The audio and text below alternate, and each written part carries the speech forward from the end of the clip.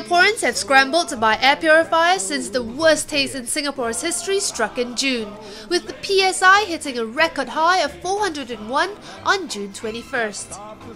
Air purifiers are now sold out at major stores island-wide and a Razor TV check with six air purifier brands found that they have run out of stocks. Exactly how effective is your air purifier?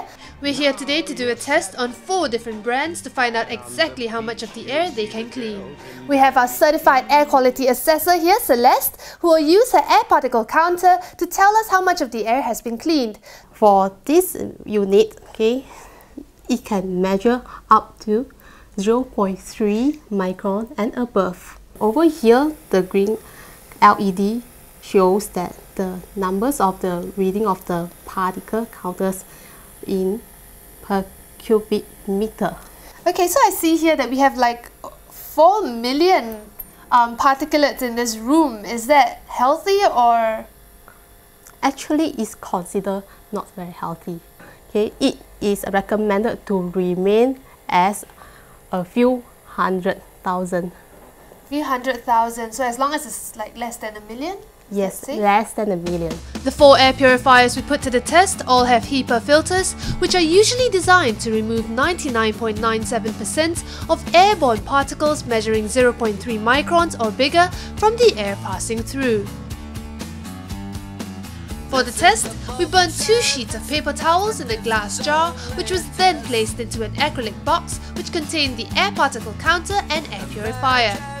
When the flames died down, the air purifiers turned on and allowed to clear the air for 2 minutes. After 2 minutes, we noted the amount of particles left in the air as measured by the counter. Four purifiers tested took the starting reading of approximately 100 million particles down to a healthy level below 1 million within 2 minutes.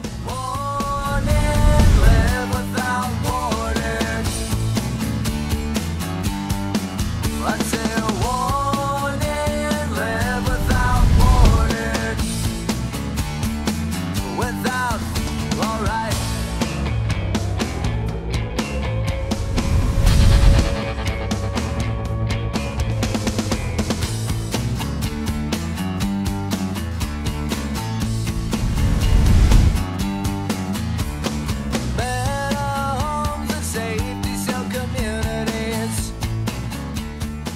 tests are done and what are the results like?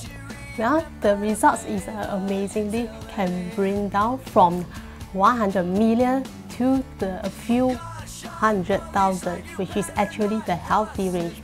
So in general, most of the air purifiers are actually are able to purify away those smokes as well as the particles.